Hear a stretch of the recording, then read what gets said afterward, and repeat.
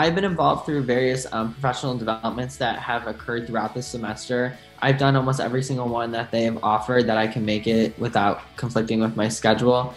I've also had been involved field coaching experience. So with my field coach, I've been in contact with her almost every other week or every week, talking about ways I can improve on engagement in my lessons and making sure that like I really get that engagement part involved in my lessons so students are able to really like grasp what was going on and are really involved in the lessons. And it's really worked with preschoolers. My name is Dana Falkenberg.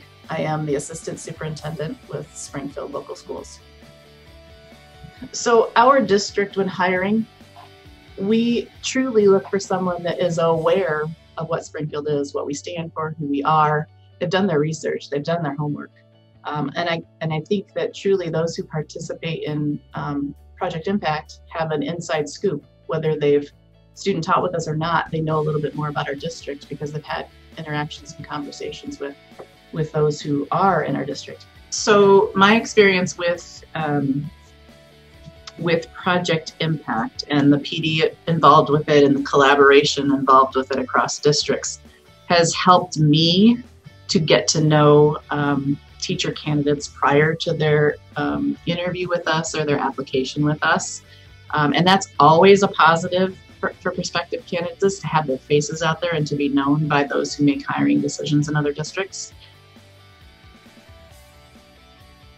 Yeah, I was interested in getting some more feedback because, you know, because I am such a novice teacher at this point in my life, I think the more people that can view my teaching and provide me with feedback and new strategies that I've never heard of before, the better. 100% I would recommend it. Um, one, the professional development opportunities are outstanding. Um, and like I said, it gets you out of your field content area um, and kind of just the monotony that can come about with um, some of the same sessions or some of the same presenters.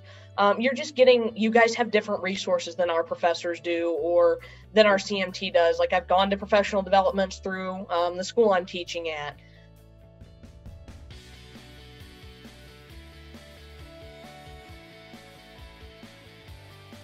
Project Impacts PD is, I think, unlike the PD in any um, necessarily other entity or that you're going to find um, just on your own because it was collaboratively designed by practitioners in partner districts as well as um, with BGSU.